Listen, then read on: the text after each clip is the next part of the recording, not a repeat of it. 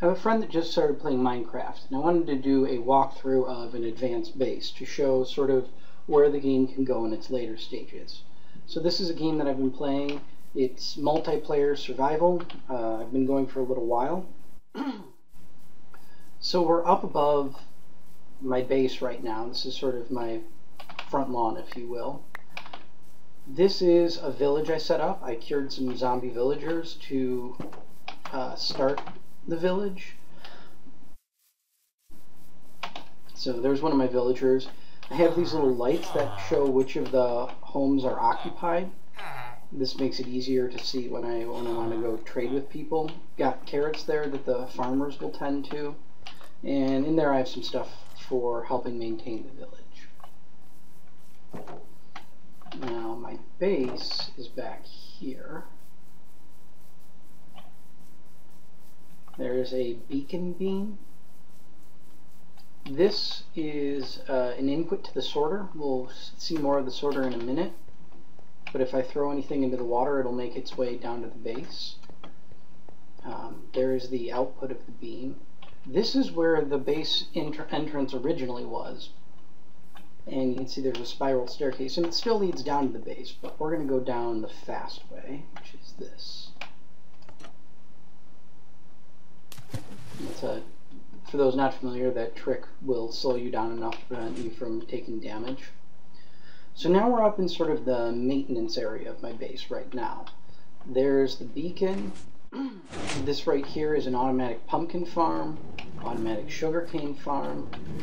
And here is a farmer, and so this forms an automatic wheat farm. The trees are not automatic. I do have to go manually harvest them, but pretty much everything else about the tree operation is automatic. So once the trees are harvested, as they fall, the wood will make its way into the sorter. The saplings get sorted out right here so that we can go back and plant. and you saw that we just emptied this out. So if we throw the saplings there, in a second or two they'll make their way back into that chest. Should, yep, there they go, Start, starting to show up. Uh, let's throw that guy there. Now we're going to sort of skip over this next part and come back to it later.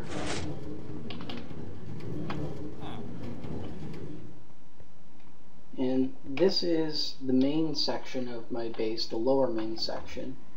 Um, more inputs to the sorter right there. These are the main inputs to the sorter, three of the main inputs. Um, so as I come back from mining, my mines go out this way. Uh, and I'll show you, I this is the standard pattern I always use when I'm doing mining. I have one main shaft that's four tall by three wide, and then these shafts go off every fourth block and they alternate so that it forms this pattern. I find that uh, that does a good job of getting uh, high density coverage as well as making it easy to keep track of where I am in the base. Got my little enchanting operation, there's the stuff I need to do the enchanting. Back this way, these are the furnaces. I don't have things automatically come out of the furnaces. I want to be able to pull them out myself so that I can get the points. Um, generally this would be iron and this would be gold. I don't have any waiting for me right now, so. Back this way is the chicken murderator. There's Foulheart, which is what I use to kill the chickens. So yeah, we've got a couple.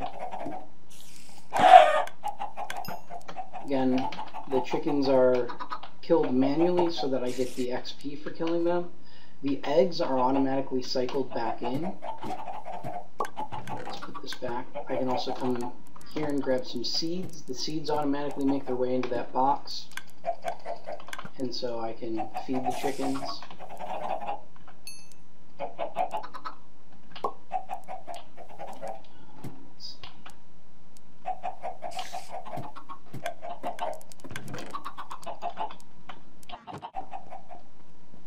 Similar setup over here with the cows. Got wheat coming in here. Got another sword with looting three so that I can kill a bunch of cows fairly quickly. Hop down in here. Grab some loot. Come on.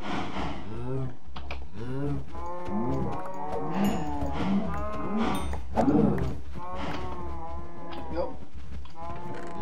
Put, um, put the sword back. Another input to the sorter. And the sorter is up here. So this is the main workshop area. Got brewing stand, anvil, got lots of uh, crafting tables. Anything along the top row are items that will get automatically sorted. So there's three more inputs to the sorter there. And then this is the output. Anything that isn't automatically sorted comes in here. And so we can go grab a couple of those things, put them away. So there's old armor, plants, um, but anything else will get automatically sorted. So let's find something, should only have a little bit of iron, yeah. Pull that out, drop that in there. Eventually that will make its way back up into there. We'll come back at the end and check that it's done that, but it might take a little while. Uh, the clicking you hear in the background is a sign that the sorter is operating right now, so it's actually sorting things. So let's take a look at how that works. The driver of the sorter is this whole operation back here. So this is the main stack that pushes things that come into the sorter all the way up to the top. And so we're checking, um, this, this checks if there's anything at the bottom, and then there's another signal that's coming down from the top up here, and this is an OR block. So if this or this is on, this signal turns off. And when the signal turns off, this turns into a clock. Let's see that work. So now this is on, and so this is operating as a clock, and that's going to drive, um, there's a spiral that goes up there that drives the uh, object lifter. Now, this was the part we skipped over a little while ago. We can come back up here. This is the main sorter. Uh, you can see I've got labels on the outside here too, and so this should be chicken. Let's go grab some chicken. And the sorter is just this pattern over and over again. So there's the three there. This is the main item tube. Uh, it goes in a big circle and comes out over here and makes its way down into, that was the output box that we saw. Uh, at the beginning I showed you that water dropper. That goes down there and comes from way up there. You can see the water dripping. These are some of my overflows for, let's see, yeah, there's cobblestone, there's more cobblestone. Um,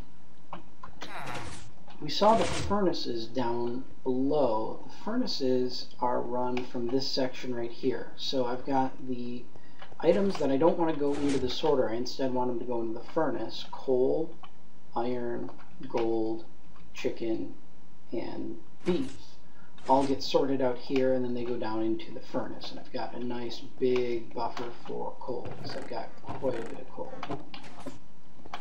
Um, same thing, this is the seeds so that they'll go back to where the chickens are. This is more standard sorter input. This is the wheat to get back to where the cows are. And then more of the same for the sorter input. Uh, so that's kind of a quick overview of what an advanced base might look like. It's uh, how I like to lay out my base. It means that I can go down there, do some mining, come back, drop everything off in here. It'll go back into the sorter. Oh, let's check our iron. Yep, our iron got sorted back into place. Every once in a while I can take things out of here and move them into the correct chests that aren't automatically sorted. There we go. Um, and it means that when I want to try and build something, when I want to go try and fight some mobs, or you know, when I set up the village that was up at the top, it was pretty easy. Uh, the other thing I'll show you, we saw the quick drop to get down here. This is how we can get back up quickly. Use the nether as a shortcut.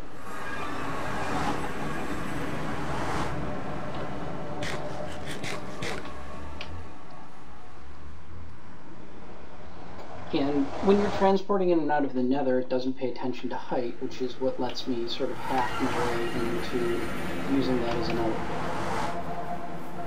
And then ends up a little ways away from the base. We do want to try and get that closer at some point.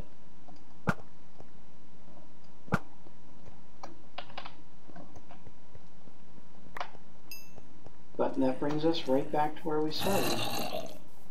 Alright, thanks for watching.